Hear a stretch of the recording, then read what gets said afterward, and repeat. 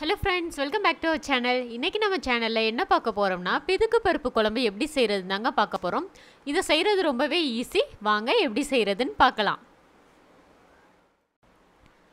ஒரு கப் போல் மொச்சப்பயிர் எடுத்துருக்குறேங்க. இந்த பிதுக்கு பருப்பு குழம்பு பண்ணுறதுக்கு வந்து நமக்கு பயிரோட அந்த தோல் இருக்குல்ல அந்த தோல் வந்து தேவையில்லை. ஸோ நம்ம ஃபஸ்ட்டு வந்து இதோட தோல் எல்லாத்தையும் எடுத்துடலாம்.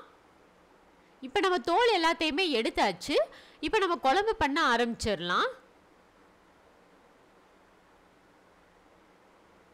இதுக்கு வந்து ஒரு குக்கர் எடுத்துருக்கிறேன். குக்கரில் வந்து ஃபஸ்ட்டு நம்ம தோல் எடுத்த பருப்பு இருக்குதுல அந்த பயர் எல்லாத்தையுமே ஃபஸ்ட்டு சேர்த்துடலாம்.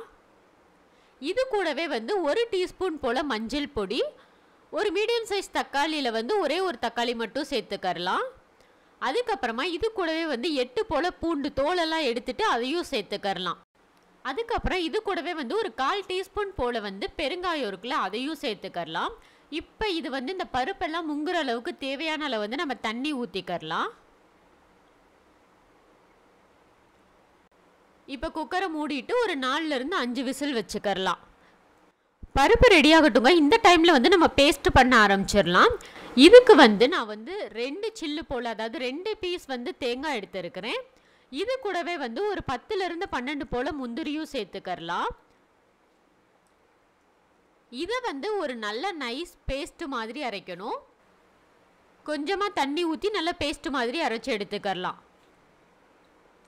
இப்போ நம்மளோட கேஷ்யூ பேஸ்ட் வந்து ரெடி ஆயிடுச்சு இப்போ ஒரு கடாயில் வந்து ஒன் டேபிள் ஸ்பூன் போல் வந்து எண்ணெய் சேர்த்துக்கரலாம் எண்ணெய் சூடாகட்டும். சூடானோன்னா அதில் வந்து ஒரு டீஸ்பூன் போல் கடுகு உளுந்தம்பருப்பு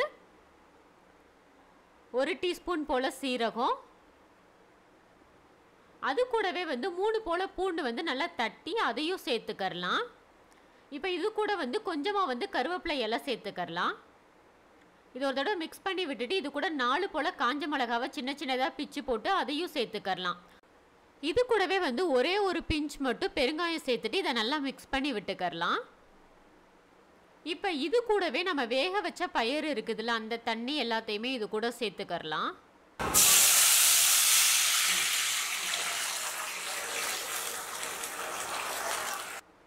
லைட்டாக இதை ஒரு தடவை நம்ம மிக்ஸ் பண்ணி விட்டுக்கரலாம் இப்போ இது கூட தேவையான அளவு உப்பு சேர்த்துட்டு இதை மறுபடியும் லைட்டாக ஒரு தடவை மிக்ஸ் பண்ணி விட்டுக்கரலாம் இப்போ இது கூடவே நம்ம ஏற்கனவே அரைச்சி வச்ச அந்த தேங்காய் முந்திரி பேஸ்ட் இருக்குதுல்ல அதையும் வந்து இது கூட சேர்த்துக்கரலாம்